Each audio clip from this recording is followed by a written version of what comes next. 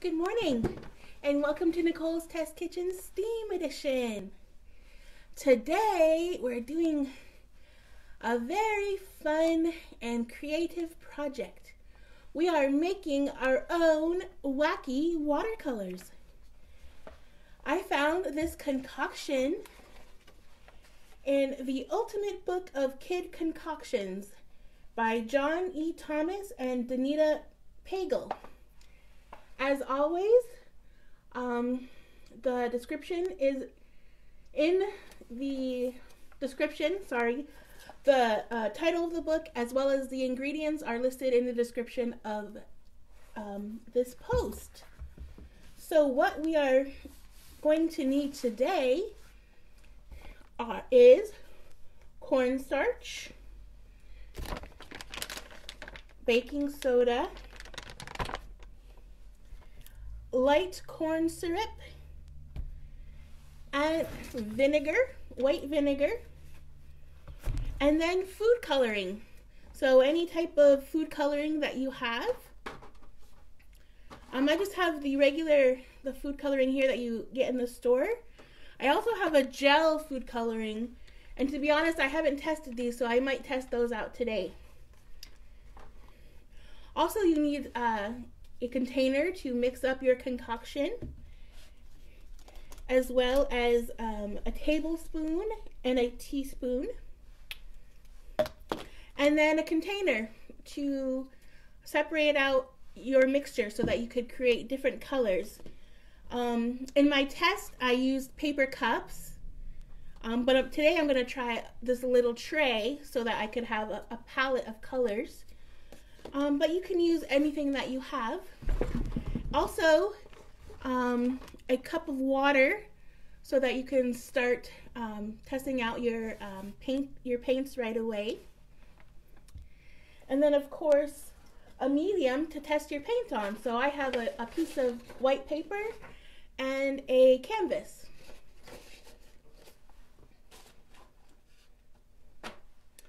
All right, let's get started with our mixture. So I'm gonna uh, mix the dry ingredients first and then I'll add uh, my liquid. Now remember, I don't know if you remember, but what happens when you mix baking soda and vinegar?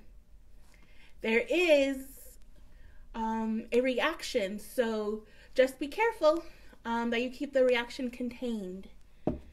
Um, so first I'm to start out with my three tablespoons of baking soda. So I have my tablespoon. Make sure that you're working on a table that's covered because this is messy. Also, you might want to have some paper towels around. So one, two,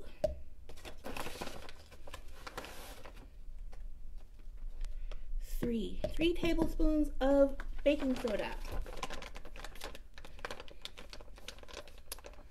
Put that out of the way. Next, we're using uh, the cornstarch. Now, be careful with cornstarch. It's very fine, so you don't want to breathe it in. You also don't want to try to not to get it everywhere. But of course, hopefully you're wearing your apron like I am, and you have, you know, your table covered, and maybe some paper towels or a sponge to clean up any messes. So we're also going to be using three tablespoons of the cornstarch.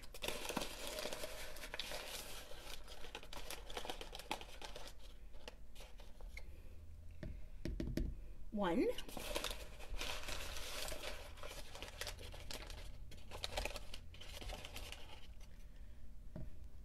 Two.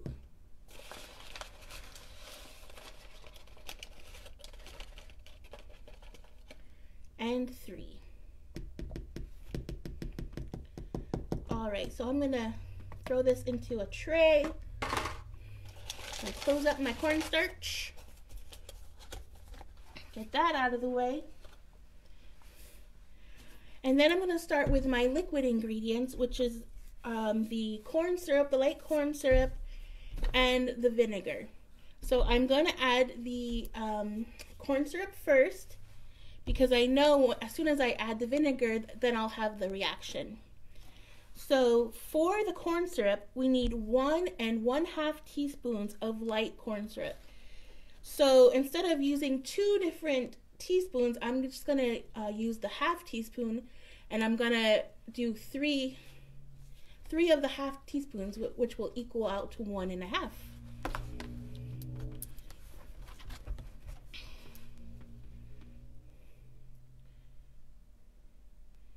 So I have a half a teaspoon.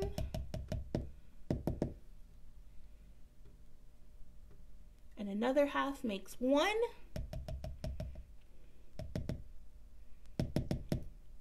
Want to make sure it gets all out there. And then the last half teaspoon will equal out to a total of one and a half teaspoons. getting it all out, shaking it a little bit. You could also use your finger to get out any stuff that's left.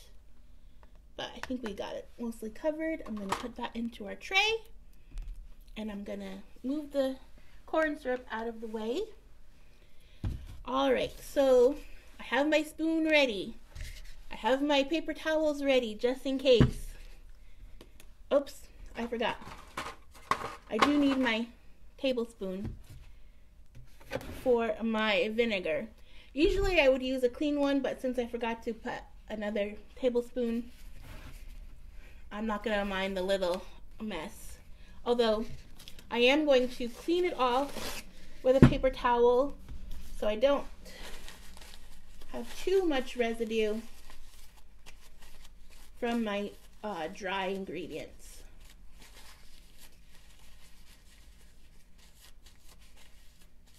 Now, if you're at home in your kitchen, you could just, you know, quickly rinse it out. Okay, so now I'm ready to add my vinegar, and I need three tablespoons of the white vinegar. So, um, for any of you unsure about adding your liquid directly, you may want to measure out your vinegar into a separate container and then pour it in. Otherwise, you could just pour it in directly. Have an adult help you if the vinegar is too heavy. I'm doing this fast because of my react the reaction. So you see how it's bubbling, we're getting that reaction. I think it's not quite as strong as because we have the cornstarch in there. But so let's stir. So we're stirring up our concoction and making our wacky watercolor. Stir, stir, stir. Make sure it gets all in there so it'll become liquidy.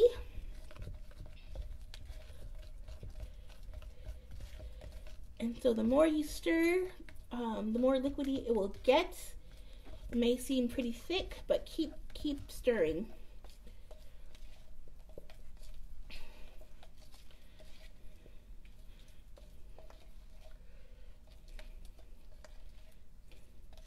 Make sure it's all mixed in.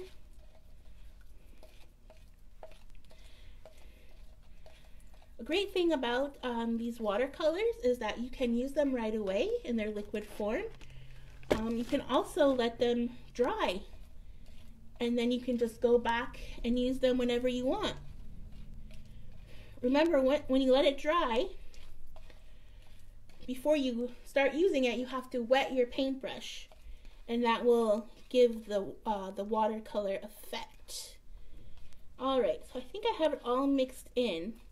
So before I add some food coloring, I'm going to actually pour it out into my little tray. So this is a very small tray and it's not very deep, so my colors, um, I probably will have more mixture than will fit in my tray. I'll probably just um, pour the excess into, into different containers, but I wanted to create a palette that I can keep so that I can go back to it. Okay. So I'm gonna do this delicately. Um, if you're pouring it into a container, I you know suggest maybe using a funnel. I actually decided to create my concoction in one of my beakers so it has an automatic pour. But if you were making your con- concoction in a bowl, you might want to use a, um, a funnel to add it into your specific container so it doesn't get everywhere. So let me start pouring. Okay.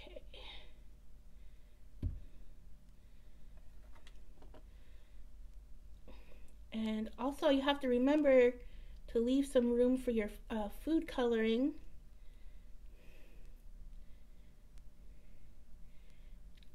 And I also just realized I forgot to have a stir, but I think I have one left over. So yes, you'll need to uh, have something to stir in your watercolor. I'm going to use a, um, a little stick that I have.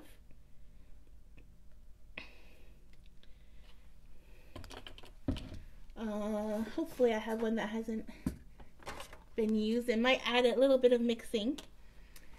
Okay. So, let me try my different food colorings. I'm first going to try these gel ones that I have. I haven't really worked with the gel food coloring that much, so I don't really know what's going to happen. Well, I'm not going to be using a, Guess we have a purple and a green. And then I'm going to use just the regular, uh, the food coloring that you see mostly. Um, to create different colors, you get, you know, use different amounts of um, the different food coloring drops. I'm going to start with this purple. Also, be careful. Make sure that, again, your table's covered. You may want to, if you have gloves, you may want to use gloves because it's going to be messy.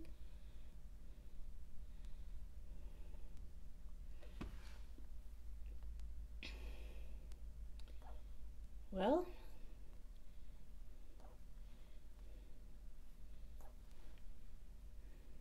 I am testing and maybe there's not even any left here. Another lesson, always test your food coloring uh, or your ahead of time to make sure you actually have some. Looks like we put it away without checked and see if, if there was any left. But it looks like we still have some green of the gel. And that looks pretty dark. So I'm just going to use one drop of that. And I'm going to stir.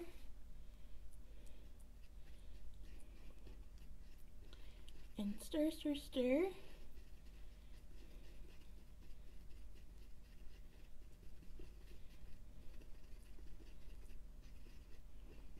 Now, if you are using a tray, like I said, you want to leave some room for the food coloring and making sure you're, able to stir it without making a huge mess.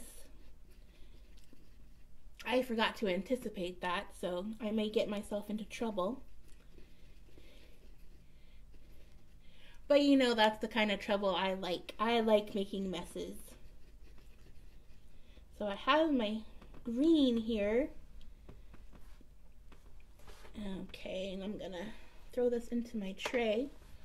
And actually, I'm gonna get this book out of the way so I don't make a huge, huge mess. And I'm gonna take some paper towel.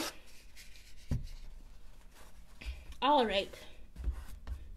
So my gel food coloring was kind of a bust because my containers are mostly empty, but I did use the green. So now I'm going to use a red and just make a pure red. Uh, let's see. Four drops.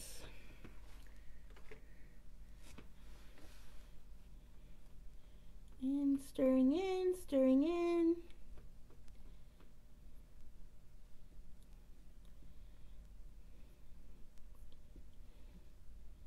being very careful because this one I kind of overfilled.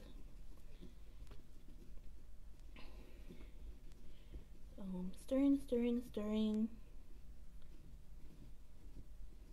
And you do have to stir a lot to make sure it gets all the way through because your concoction's probably starting to dry a little bit and so it gets a little thicker.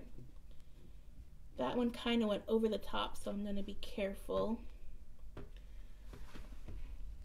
And conveniently I have my cup of water so I'm going to rinse off my stick and see if I can hopefully it won't affect the next color. Uh, let's see, I'm going to do a blue, or excuse me, a yellow. And actually I might do a combination of yellow and red to see if I can get an orangey color. Oops.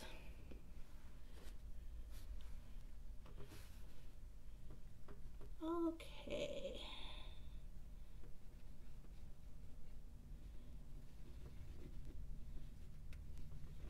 Mix, mix, mix. Oh, maybe a red, a red orange.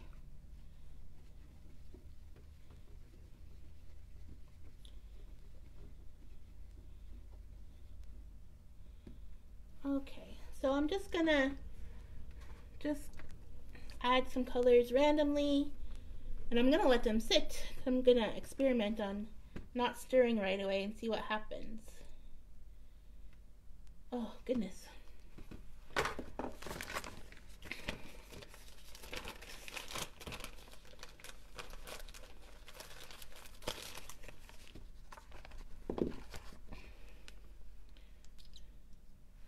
Do a blue oops,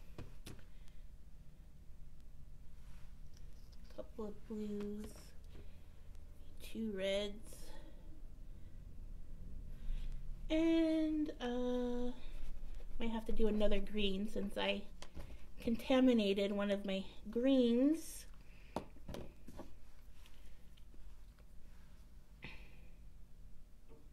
Okay. So clear stick here. And let's stir this up.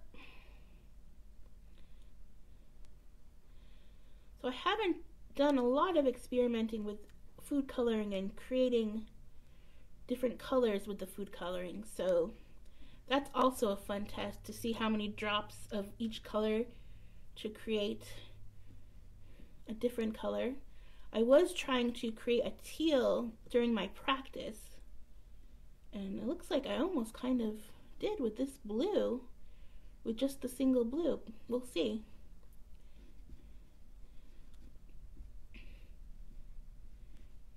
But that may be a, a something you want to look up and test, maybe do a search and see what colors do you mix a food coloring to create teal or to create turquoise.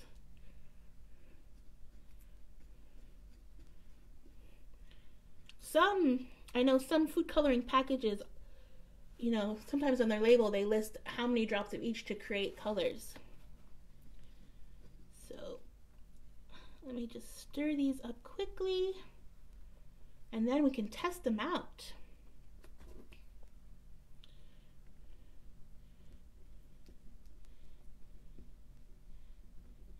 And it's okay if they if they've started to uh, thicken a little bit or dry out a little bit when you're stirring. You just have to stir a little bit harder to get all the color mixed in.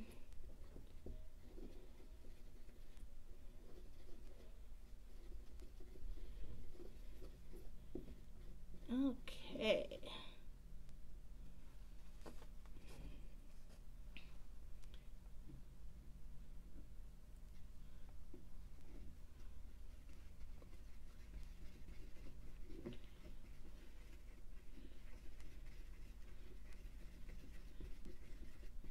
Oh, I'm not sure what color that's turning out to be. Ugh. Okay, oops. Also, be very careful about making little messes. I was not as careful in my stirring. Okay, so let's test some of these out. Um, I am going to also show you one of the tests I did yesterday. So you can see this is completely dry. So I'm going to show you how, um, once it's dry, how you just, how you make it work. So let me get my mediums here. I have my paper. And I have my canvas.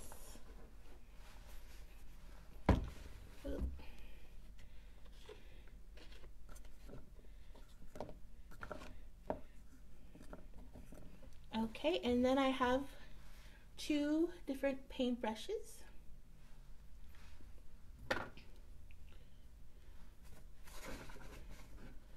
So I'm going to take my dry paintbrush and on the, the food coloring we just made, my liquidy, I'm just going to dip it in and start painting.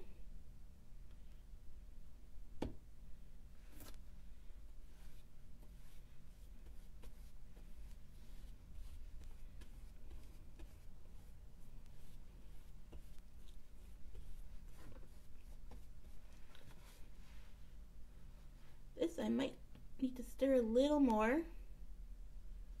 As you can tell, it's a, it's a little bit grainy.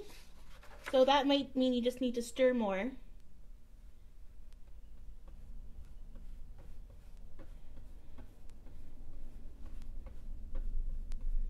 Yeah, I think that's showing me I have to stir a little bit more. But anyway, let me test some of the others.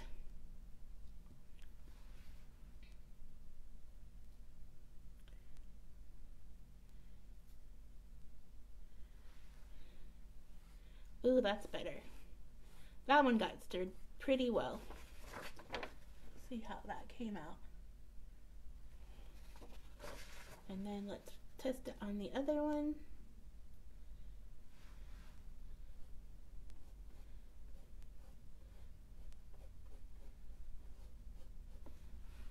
So there's the orange test. Rinse my brush. Try out my other colors try this green one that I made with the gel food coloring. Oh, and that's nice.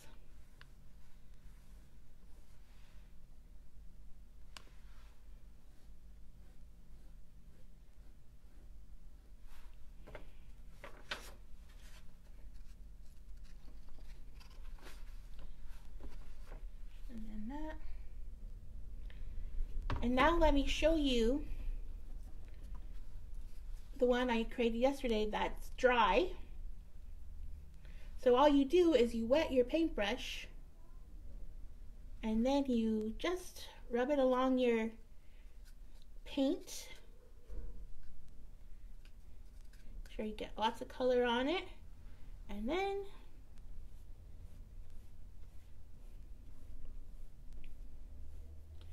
this one I was trying to make a purple, I think. It didn't quite turn out the way I wanted it to. But that's okay.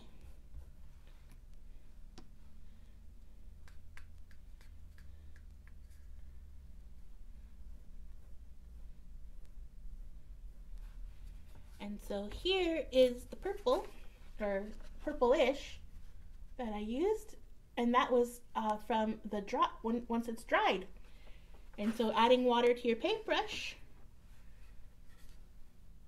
and then uh, putting it into the color will create the watercolor. So you can create these different watercolors and you can keep them. You know, put them into a, a container and you can keep them for as long as they last. And so that is today's STEAM edition on wacky watercolors. I hope you have fun trying out this project and again experimenting with different color combinations. And I will see you next week. Thank you for joining me today. Bye bye.